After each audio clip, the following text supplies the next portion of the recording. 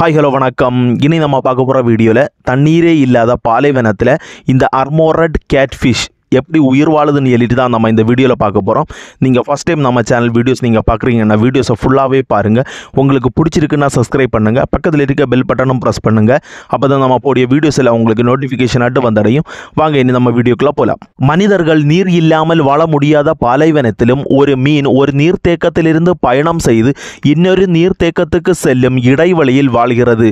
அது எப்படியெல்லாம் தன்னுடைய உயிரை காப்பாற்றிக் கொள்ள போராடுகிறது என்பதை பற்றி தான் நம்ம இந்த வீடியோவில் தெள்ள தெளிவாக பார்க்க போகிறோம் ஒரு முறை பிரேசிலில் உள்ள லென்காஸ் மரென்ஹென்சிஸ் என்ற பாலைவனத்தில் ஒரு உயிரினம் ஊர்ந்து போனதற்கான தடயம் இருந்ததாக கவனித்திருக்கிறார்கள் சுற்றிலும் பார்க்கையில் எந்தவித உயிரினமும் இருந்ததற்கான அறிகுறிகளே இல்லை அதன் பின்னர் மீன்பிடிக்க சென்றவர்கள் மீன்பிடிக்கும் போது அந்த தடயம் யாருடையது என்று கண்டுபிடித்தனர் இந்த மீன்கள் பாலைவனங்களில் உள்ள நீர்த்தேக்கங்களில் வாழ்கிறது அதிகம் வறட்சியினால் நீர் வற்றியவுடன் வேறு நீர்த்தேக்கத்தை தேடி செல்கிறது அப்படி போகும்போது தனது வயிற்றை வைத்து உடம்பு உடம்பை முன்தள்ளி ஊர்ந்து செல்கிறது.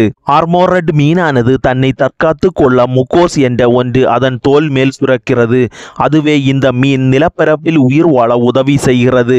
இந்த முகோஸ் காற்றில் இருக்கும் ஈரப்பதத்தை உறிஞ்சும் தன்மை கொண்டது.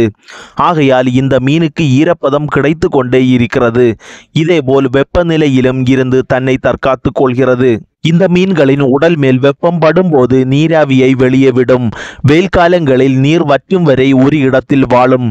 இந்த மீன்கள் வற்றியபின் நீரை தேடி செல்லும். மேலும் இந்த மீன்களுக்கு நீர் இருக்கும் இடத்தை உணர்வதற்கான ஆற்றலும் உள்ளது. எந்த பக்கம் சென்றால் எளிதாக நீர்த்தேக்கத்தை அடைய முடியும் என்பதை தெரிந்தும் வைத்திருக்கிறது. இப்படி கஷ்டப்பட்டு ஊர்ந்தே செல்லும் இந்த மீன் நீர்த்தேக்கத்தை அடைந்தவுடன் புள்ளி குதித்து நீரில் சென்றுவிடும்.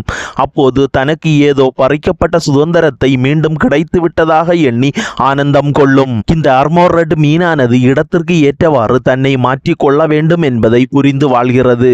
இந்த வீடியோ பற்றிய கருத்துக்களை கமெண்ட் செஷனில் கமெண்ட் பண்ணுங்க. இது போன்ற விலங்குகள் சம்பந்தமான வீடியோஸ் பார்க்கணும்னா பெட்ஸ் வேர்ல்டு தமிழ் சேனலுக்கு சப்ஸ்கிரைப் பண்ணுங்க. மீண்டும் இன்னொரு வீடியோவில் சந்திப்போம். நன்றி வணக்கம். ஜெய்ஹிந்த்